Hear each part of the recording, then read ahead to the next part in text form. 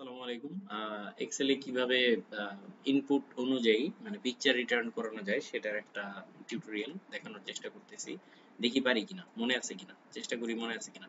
So ফার্স্টে rho হাইটটা দুশো পঞ্চান্ন করে নিই এবং যেটা আছে সেটাকে আমি ওয়ান হান্ড্রেড করে দিই সো দ্যাট আমার এই যে পিকচারটা আমি এটা ইনসার্ট করব সেটা যাতে এটার মধ্যে থাকে আর কি সেরকম। সো আমার এক নম্বর রোটার দরকার নেই, আর কি আমি দুই নম্বর রো থেকে কাজ শুরু করব। So, let us take a picture from the book. Let's say this one. এখন এটাকে কপি করলাম এবং I have to make sure that এই picture is within the cell. এটা যাতে সেলের বর্ডারে না যায়। তো এটা বেটার ভিজুয়ালাইজেশনের জন্য আমি এটাকে অল বর্ডার এরকম করে দিই যাতে আমি দেখতে পারি আর কি এরকম। এরপরে হচ্ছে আমি তিনটা বা চারটা ফিগার নিয়ে আর কি করি। এরকম আমি আরও কয়েকটা ফিগার নিয়ে আসি। লেটস সে দিস ওয়ান আমি এক একজনকে এক এক রকম ফিগার যাতে আসে পরীক্ষায়, সেটা আর কি আমি দিতে চাচ্ছি। সো আমি সেকেন্ড ফিগার সিলেক্ট করলাম সেকেন্ড সেলটা সিলেক্ট করলাম সরি সেখানে আমি সেকেন্ড ফিগারটা বসাই দিলাম, জায়গা মতো। এবং তিনটা আরেকটা করব। Let us take this one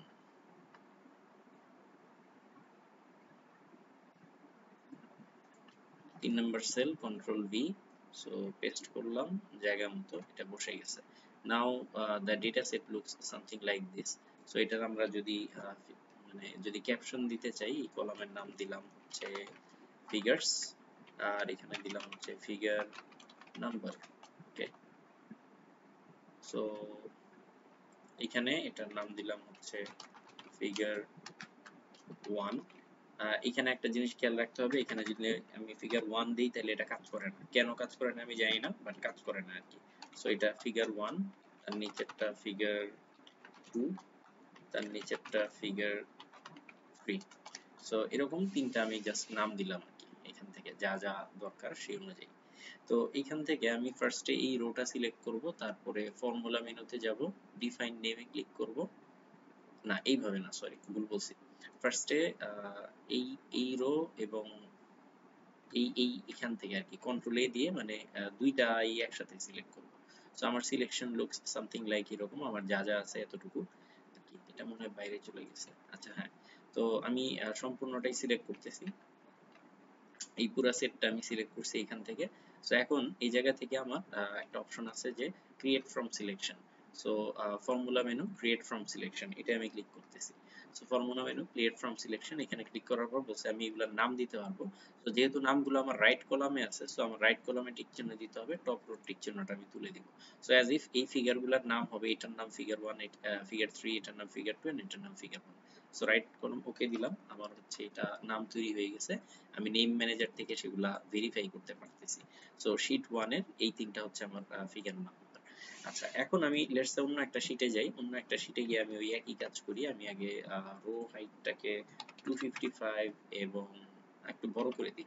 let's rho হাইটটাকে আমি 300 এবং কলাম উইডথ যেটা আমি দিতে চাই কলাম উইডথ এটাকে আমি দিয়ে দিই লেটস সে 120 আচ্ছা তো এখন আমি চাই যে এই জায়গায় আমি যেই লেটস সে এইখানে আমি যে ইনপুট একটা মিনিট তো লেটস আমি উপরে যেই প্রথম রোটা থাকবে, প্রথম রোতে আমি এখানে যে ইনপুটটা দিব, সেই অনুযায়ী এখানে ওই ফিগারটা আসবে আর কি। এটা হচ্ছে আমার গোল তো এটা তৈরি করার জন্য আমাকে এখানে প্রথমে যেটা করতে হবে, যে কোনো একটা ফিগারকে এখান থেকে সিলেক্ট করে ওই জায়গায় নিয়ে যেতে হবে। তো আমি এটা সিলেক্ট করলাম কন্ট্রোল সি চিপে কপি করলাম, তারপরে এই জায়গায় এসে কন্ট্রোল ভি দিয়ে এটাকে পেস্ট করলাম আর কি এটা আচ্ছা এখন আমাকে যেটা দিতে হবে, যে এই জায়গায় আমি চাচ্ছি যে ফিগারের নাম। তো ফিগারের নাম সাধারণত হতে পারে figure one figure two figure three এরকম। তাহলে এখানে দিলাম হচ্ছে ফিগার ওয়ান আচ্ছা বা ফিগার টু বা ফিগার থ্রি এটা ডাইনামিক করব আমরা পরবর্তীতে, সমস্যা নাই। তো এই জায়গা থেকে আমরা যদি ফিগার ওয়ান দিয়ে দিই তাহলে আমরা চাচ্ছি যে এখানে যদি আমার ফিগার টু লেখা আসে তাহলে অটোমেটিক্যালি দুই নম্বর ফিগারটা যাতে বসে যায় আর কি। তো এটার জন্য আমাদেরকে যেটা করতে হবে, এই সেলটা যেখানে আমি ফিগারের নামটা লিখছি হ্যাঁ এখানে গিয়ে আমাকে এটাকে আরেকটা নাম দিয়ে ক্লিক করা লাগবে। সো এখানে হোয়াট এভার দ্য নেম এটা আগে থেকে যেটা দেয়া ছিল আর কি দেখাচ্ছি আমি যেখানে ক্লিক করার পর আমি আবার ডিফাইন নেমে ক্লিক করব। সো ডিফাইন নেমে ক্লিক করার পর আমাকে এটার একটা নাম দিয়ে দিতে হবে আর কি তো, এটার নাম আমি দিয়ে দিচ্ছি হচ্ছে লেটস এখন আমি বলে দিই যে ডায়াগ্রাম ওয়ান বা এক্সিবিট ওয়ান আমি বোঝার জন্য আর কি ঠিক আছে? বা কোয়েশ্চেন ওয়ান লেটস এইভাবে দিয়ে দিই। কোয়েশ্চেন ওয়ান এক নম্বর ফিগারের যে প্রশ্নটা। ঠিক গেছে এবং এটার যে ভ্যালুটা আছে, এই জায়গায় আমাদের একটু কারিগরি করতে হবে। এই কারিগরিটা হচ্ছে ইনডিরেক্ট লিখে দিতে হবে এটা। বিকজ এখানে এক্সেলের একটা ঝামেলা আছে, সে এইটার মধ্যে যা আসবে সেটাকে যাতে ফিগারের নাম হিসেবে ট্রিট করে ফর্মুলা হিসেবে না। সো ইনডিরেক্ট দিয়ে এটাকে ওকে দিয়ে দিলাম এখানে। সো এখন আমরা এই ফিগারটাকে সিলেক্ট করব এবং অ্যাড্রেস বারের মধ্যে যাব। অ্যাড্রেস বারে গিয়ে আমরা এখানে যেই নামটা আমরা দিয়েছিলাম যে কোয়েশ্চেন 1 কিউ এই যে চলে আসছে কোয়েশ্চেন 1 সো এটা ক্লিক করলাম এবং এন্টার দিলাম, ঠিক আছে? সো তার মানে এখন হচ্ছে আমার এই ফিগারের মধ্যে এই জায়গায় আমার যা লেখা থাকবে, তাহলে সেই অনুযায়ী এখানে ফিগারটা সেভাবে চেঞ্জ হবে। সো আমি যদি এখানে ফিগার 1 এর বদলে now if I write figure 2 if I write figure 2 you see that the picture picture has been এরকম। আবার যদি এখান থেকে আমি ফিগার 3 দিয়ে দেই তাহলে এখান থেকে আমার তিন নাম্বার ফিগারটা চলে আসছে। এখন এটারে যদি আমি ডাইনামিক করতে চাই তাহলে আমি সিম্পলি এই ঘরের ডেটা ভ্যালিডেশন করব। সো ডেটা মেনু থেকে আমার এই যে, এই অপশনটা this is call data validation এটা আগে লেখা থাকতো, এখন কেন এইভাবে আসতেছে আমি জানি না। মানে এমএস অফিস সামথিং কত জানি 365 এর এরকম। তো এখান থেকে ডেটা ভ্যালিডেশনে এখানে আমি বলে দিব যে এনি ভ্যালু না, এখান থেকে এনি ভ্যালু না, এটা হচ্ছে একটা লিস্ট থেকে নিবা তুমি। এই লিস্টটা কোথায়? সোর্সটা আমি এখানে ক্লিক করলাম এবং বলে দিলাম যে এটা আসবে হচ্ছে শুধু এই জায়গা থেকে। শীট 1 এর সি তম কলাম থেকে আর কি। ওকে দিয়ে দিই।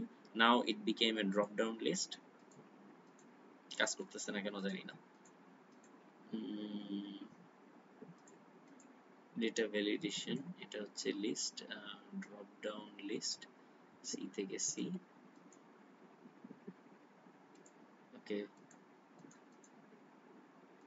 হ্যাঁ এই যে কাজ করতেছে তো সরি আমি আসলে বেশি করা ছিল আর কি। So figure 1 is this one figure 2 is this one and figure 3 is this one so আমি আমার মতো করে এখান থেকে আসলে ফিগার গুলাকে আমি আমার ডাইনামিক্যালি আমি এখান থেকে রিটার্ন করে দিতে পারতেছি।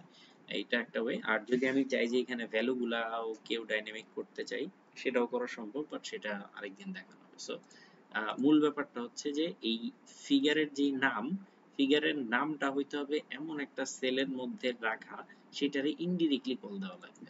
তো এইখানে ফিগারের নাম হচ্ছে কোয়েশ্চেন ওয়ান আর কোয়েশ্চেন ওয়ান মানে বলতে আমরা বোঝাচ্ছি এই সেলটাকে। কোয়েশ্চেন ওয়ান মানে হচ্ছে এই সেলটা বিকজ আমরা এই ওই ফর্মুলা মেনু থেকে ডিফাইন নেমে গিয়ে দেখতেছি যে কোয়েশ্চেন ওয়ান নামে হচ্ছে মানে হচ্ছে ইনডিরেক্টলি এই সেলটাকে মিন করতেছে। সো ইন আদার ওয়ার্ডস এটা যেরকম আসলে সেরকম থাকুক। সো কোয়েশ্চেন সো এখান থেকে এই সেলটা মানে হচ্ছে কোয়েশ্চেন ওয়ান এটা যদি আমরা এই যে ডিফাইন নেমে কি বলে নেম ম্যানেজার থেকে দেখি যে কোয়েশ্চেন ওয়ান মানে আসলে কি? শীট ওয়ানের এ টু তাইলে sorry sheet two A two তার মানে এই শীটের এ টু এই সেলটাকে মিন করতেছে। এই সেলের নাম হচ্ছে কোয়েশ্চেন ওয়ান কিন্তু এটাকে আবার ইনডিরেক্টলি বলা হচ্ছে সো তার মানে হচ্ছে ইনডিরেক্টলি সেটাকে রিটার্ন করবে আর কি। ইনডিরেক্ট এটা হচ্ছে একটা ফাংশন যেটা কিনা আমাদের এখানে ইউজফুল আর কি। এই হচ্ছে মোটামুটি পিকচার রিটার্ন করানোর জন্য ওয়ে আর কি। এরপরে যদি আমরা এই জিনিসটাকে আর হাইড করে দিতে চাই, আমরা সিম্পলি এখান থেকে ফন্ট কালার সাদা করে দিতে পারি, যাতে এটা দেখানো যায়। So now we can dynamically fix the figures if we want এরকম so thank you very much অনেক রাত হয়ে গেছে ঘুমানো দরকার আসসালামু আলাইকুম